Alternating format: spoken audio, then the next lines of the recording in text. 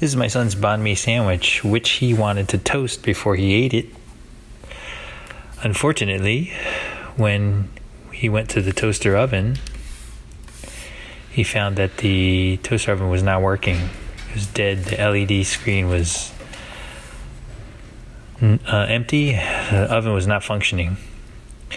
So, this happens to be a Breville BOV 810 BSS, and Googling that will tell you that there's some common problems with this that people seem to have, um, most frequently with the thermal fuse.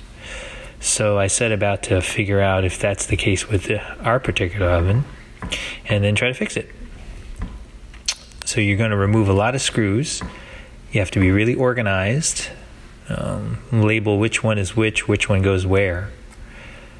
Also a good idea to write down like the procedure of what which parts were removed first, second, and so forth, so you'll know how to put it back together afterwards.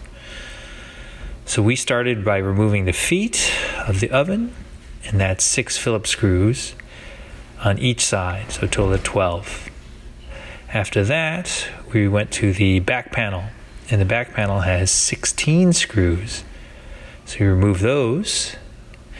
And when you've done that, there's also four screws on the bottom You can't really see them too well in the corners. You're going to have to remove those also. And when you do that, you can gently pull these metal side panels off.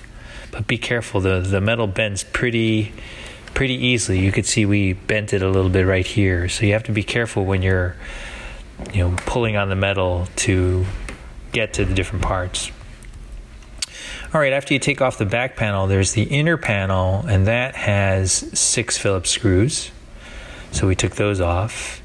Now, the thermal fuse is located behind this insulation right over here, and you're going to have to bend back these metal tabs. These are very easy to bend, and you might be able to bend those back without even taking the screws out of the back inner panel. We took these back screws out and we were able to pull this out a little bit and then just move these tabs out of the way so we can get to the thermal fuse. You might be able to do it without, so you'll have to try and see. So you're going to pull the insulation back gently because this will fall apart a little bit, so be gentle with it. And there you can see the thermal fuse assembly and it's held, the bracket is held in place by these two screws.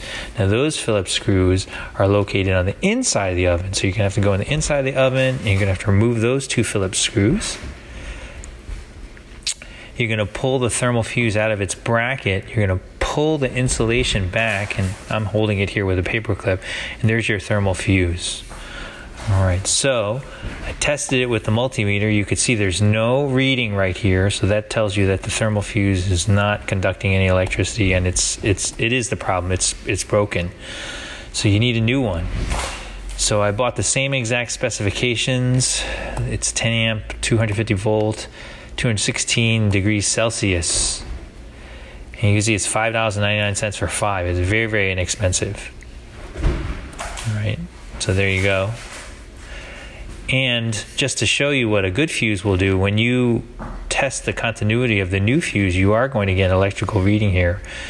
That's different than the, the blown fuse. All right, so you take the old fuse, and what you want to do is you want to cut, take a wire cutter and snip just this part out. You want this longer wire part to stay. Uh, some people like to solder it in. I didn't want to do that. I just wanted to crimp it in. So I needed a longer end piece so I could crimp the new fuse in. So you use these crimp connectors to attach the new fuse in. All right, you're going to put the insulation back on it. You're going to put it back into the bracket. You might need to adjust it a little bit. And then it, these are going to connect connected to those two screws on the inner oven, right? So you're going to attach that. You're going to put the insulation back. You're going to put these tabs back. And then you're just going to start replacing everything that you took out. I mean, the, the inner panel, um, the outer panel, the feet, all the different screws. And if you're organized, you'll be fine with that.